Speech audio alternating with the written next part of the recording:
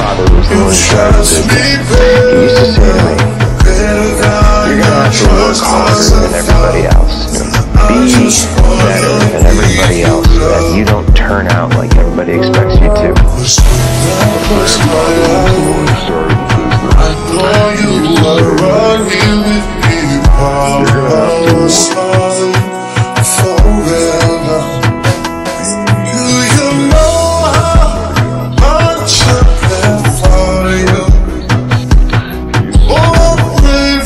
So